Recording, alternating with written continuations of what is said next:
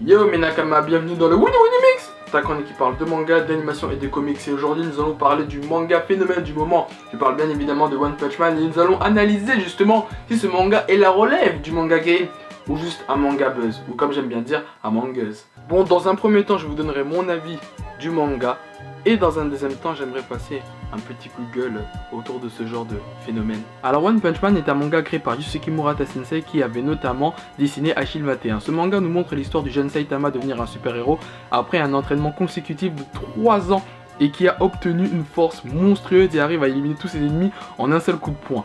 Du coup, tu peux t'imaginer que sa force monstrueuse est devenue source de problème car il n'arrive plus à trouver un ennemi à sa hauteur. Pour ma part, j'ai commencé One Punch Man avec le manga, mais dès que j'avais entendu que le studio Madhouse allait produire l'anime, je me suis dit pull up J'arrête tout, j'attends que le studio sorte l'anime car ce studio-là n'a que des classiques à son actif. Mais par rapport au synopsis, tu peux t'imaginer que l'univers et le scénario m'a parlé directement. Attends, un manga sur des super-héros tu peux t'imaginer que c'est la combinaison des rêves, car à l'instar des mangas, pour ceux qui me suivent depuis longtemps savent que je kiffe notamment les Marvel et DC Comics. Bon, je vais vous donner que mon humble avis sur ce que j'ai vu sur One Punch Man, bon sachant que je n'ai vu que la première saison animée et je ne suis pas les scans, mais de ce que j'ai vu, et c'est assez dur de porter un jugement, mais franchement c'est un bon manga, mais c'est pas une dinguerie. C'est pas le truc du genre... Euh,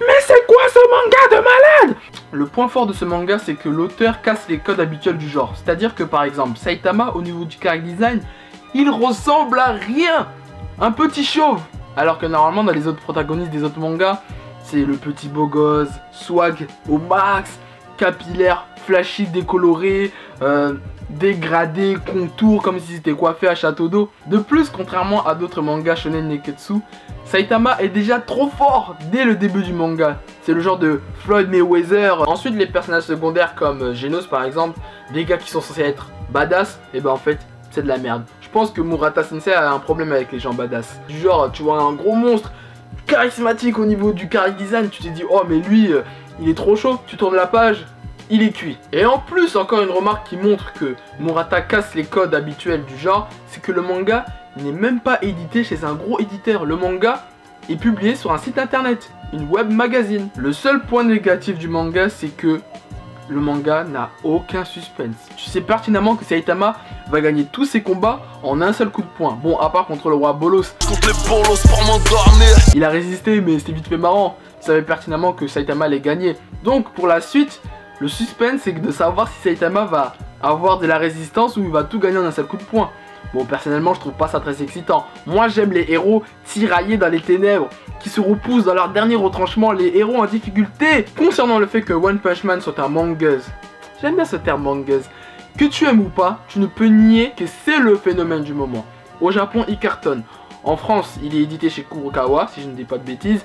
Et il est dans le top 3 des meilleures ventes, tous livres confondus. Je pense que tout l'engouement qui est venu autour de ce manga est encore une fois venu par le fait que Murata Sensei casse les codes habituels et que du coup, les débats sur les forums et vidéos sont survenus en bien ou en mal. Pour que vous compreniez ma logique, je vais vous donner un exemple bien concret. Bon, vous vous souvenez du film Man of Steel réalisé par Zack Snyder On voyait Superman affronter Zod et après leur combat, Metropolis était devenu n'importe quoi tout était cassé, c'était devenu un métropolis apocalyptique. Et justement, ce combat a suscité de nombreux débats sur internet, et même avec mes proches j'en ai parlé, comme quoi, oui, Superman c'est n'importe quoi, il a sauvé personne, il a tout cassé, alors que Superman c'est censé représenter une sorte de Jésus. Voilà Ce petit génie de Zack Snyder a réussi à casser les codes, et justement, ça a suscité de nombreux débats. Car normalement, Superman c'est quoi? C'est le petit gars avec son petit collant, qui vole, euh, il va sauver le chat perché sur son arbre, alors que là, rien du tout de cela. Tout ça pour dire que quand tu casses les codes habituels, ça suscite toujours de nombreux débats. Donc maintenant que Murata Sensei a réussi à passer cette étape,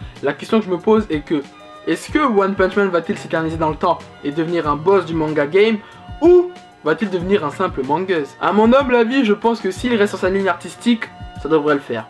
Mais s'il commence à partir sur du fan service exagéré comme Fairy Tail et Bleach, euh, il va complètement se foirer.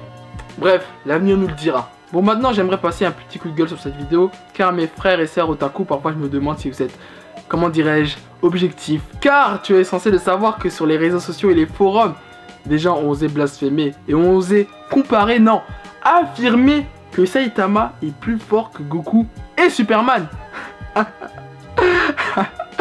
Mais moi j'ai une simple petite question à vous demander. Pourquoi dès qu'un nouveau manga fait du bruit, vous voulez tout le temps le comparer à Dragon Ball?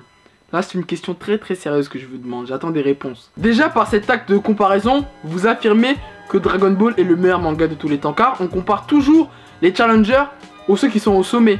Pourquoi vous ne comparez pas One Punch Man avec les mangas de sa génération ou tout simplement juste Naruto et One Piece? Eh, eux aussi c'est des anciens, hein, c'est des tontons du game, attends, plus de 15 ans de carrière. Déjà, je ne suis même pas sûr, même je l'affirme que One Punch Man n'est même pas mieux que Naruto et One Piece. Bon, je suis dur quand même, c'est dur de juger maintenant. Bon, on va prendre les 10 premiers tomes, car One Punch Man a 10 premiers tomes.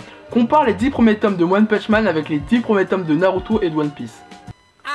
Allez, vas-y, je te, je te laisse méditer. Pour moi, euh, Naruto et One Piece, bon, peut-être pas trop One Piece, mais Naruto, les 10 premiers tomes, il y avait l'arc de Zabuza, et les débuts de l'examen des Chunin, et le fameux combat Rock Gara. Attends, ça tu vas me dire que c'est mieux que les 10 premiers tomes de One Punch Man, franchement. Tu vois, après j'ai pas regardé les scans donc je peux pas porter mon jugement, mais ça m'étonnerait. hein. Certes, One Punch Man prend les fesses de nombreux mangas de sa génération, mais de là à le comparer à Dragon Ball, non. Vraiment, vous déconnez. Faut le laisser, faut laisser Dragon Ball là où il est. De toute façon, depuis que Goku il a perdu contre Beerus, ah, vous le respectez plus. Hein. En tout cas, les gens ont trop parlé sur One Punch Man. Hein. Winnie va surveiller euh, Saitama de très très très près. En tout cas, je vois qu'il marche très bien en France, ça fait plaisir, ça change un peu des autres types de bouquins. Peut-être que ça va changer la mentalité euh, de quelqu'un de lambda qui n'aime pas les mangas. Il va dire, oh, il est bien classé, donc je vais le lire. Donc ça, ça fait plaisir, un point positif. Voilà, mes c'est la fin de ce Winnie Winnie Mix. Laissez-moi vos avis dans les commentaires, comme d'habitude. D'ailleurs, j'ai hâte de lire vos commentaires, de liker et de partager cette vidéo de me suivre sur les réseaux sociaux, de t'abonner à la chaîne. Allez, sur ce, au plaisir.